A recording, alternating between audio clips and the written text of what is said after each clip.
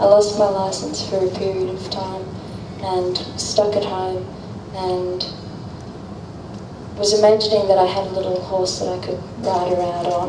Um, so I didn't have to catch the school bus with all the kids to the place where I teach. Um, also, Jesse didn't have to drive.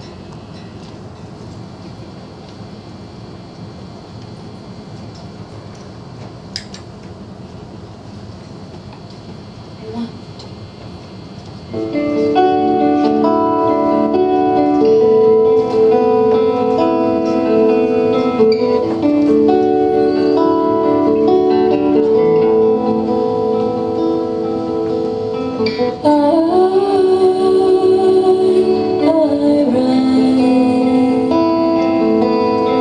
Palomino